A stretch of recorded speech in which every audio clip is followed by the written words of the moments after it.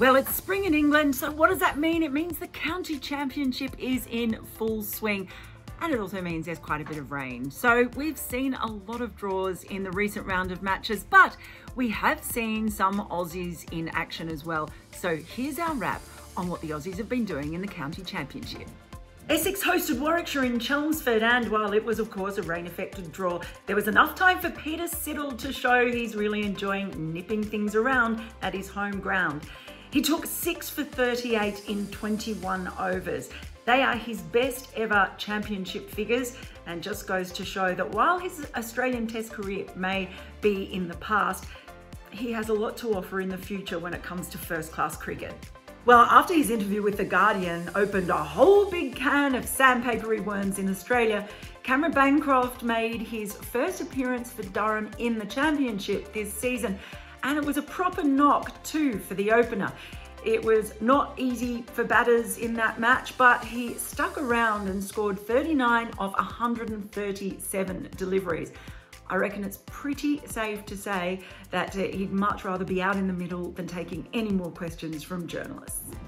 Now, there's a bit of an Aussie vibe at Glamorgan this season with a few Australian players calling Cardiff home, but they were away in Canterbury uh, against Kent for, yes, another rain-affected draw, but there were three Australian players in the action. Michael Hogan didn't take any wickets, the West Australian, but the people's favourite, Michael Neser, he sure did. He took four for 57 and who knows, maybe a successful season of his in-swingers over there at Glamorgan might help his test career aspirations. I know a lot of people would like to see it. Also in the wickets, Marnus Labuschagne, he took a couple with his off spin, including that of 45-year-old Darren Stevens, who's 190 runs in that match has just been the buzz of the county championship and he's kind of set it on fire this season.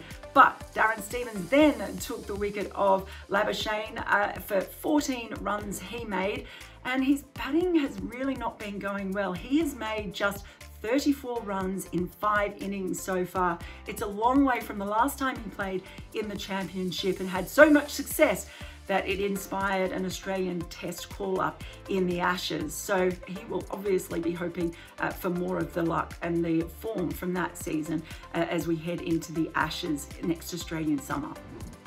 Daniel Worrall was in the wickets for Gloucestershire when they hosted Somerset at Bristol, taking three for 52. But a lot of the excitement was centred around the London Derby, where Peter Handscomb is captaining Middlesex and they took on Surrey. In the second innings, Handscomb made 70 off 94, his first half century of the season, and it was in a partnership with Nick Gubbins that looked like it might get Middlesex the win until the rain came in. But it's been a bit of a tough one for Pete Handscomb this season.